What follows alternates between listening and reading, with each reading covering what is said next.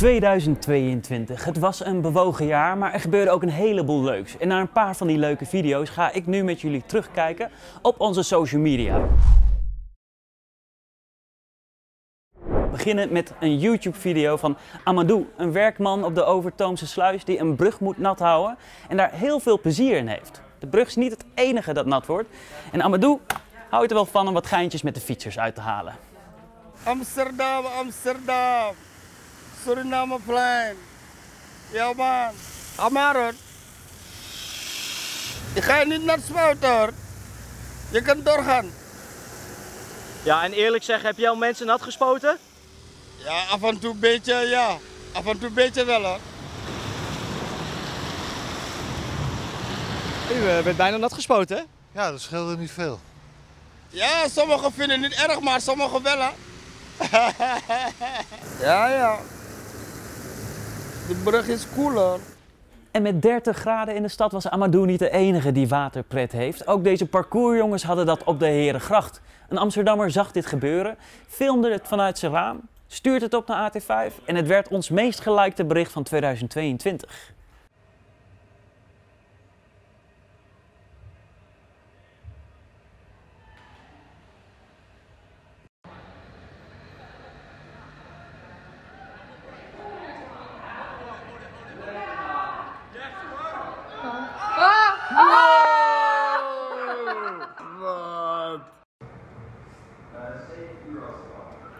Kijk. Oh my god! Oh. Oh. AT5 bestond dit jaar 30 jaar en ter ere daarvan zochten we oude topfilmpjes op die we opnieuw uitzonden op onze social media. En een van die filmpjes werd het één na best gelikte bericht, namelijk Toppertje, een oud stagiair van AT5, moest tijd opvullen tijdens een Koninginnedag uitzending live op tv en hij had nog wel een liedje te zingen. Na die uitzending werd zijn liedje Toppertje een nationale hit. Doe mij een toppertje in een briezer ananas. Maar we beginnen met muziek, toch? Muziek van Ja. Guillermo en Tropical Danny. Tropical Danny. Oh jawel. Toppertje. Zeker weten man. Ah jongens, jullie mogen los. Heel veel plezier. Hey, dankjewel man. Ja, dan gaan we dan met z'n allen. Kom op. Daar aan de Costa zag ik je lopen. En ik ben eerlijk, je zag er lekker uit. Dus ik zeg moppie, ga je met me dansen? Ik ben de slagroom en jij het stukje fruit.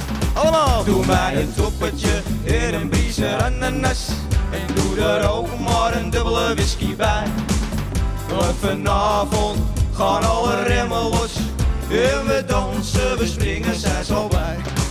Tot slot een viraltje op ons nieuwste kanaal TikTok.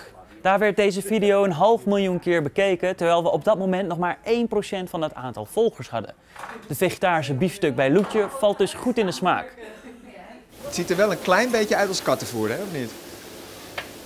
Dat is jouw mening. En het gaat er natuurlijk vooral om hoe die smaakt de plantaardige biefstuk van Loetje. We vroegen culinair journalist Joël Broekhaart voor ons om de proef op de som te nemen. Het heeft een hele goede korst. Om te kijken of echt van plantaardig is te onderscheiden. Het heeft wel dat lekkere ehm, vlezige van, van, van zo'n hard aangebakken biefstuk. Deze biefstukken komen uit een 3D-printer rollen van een Israëlisch bedrijf dat vleesvervangers maakt voor nog eens 13 andere restaurants in de stad. Hier in de Zuidas wordt die geserveerd en nog in vier andere vestigingen.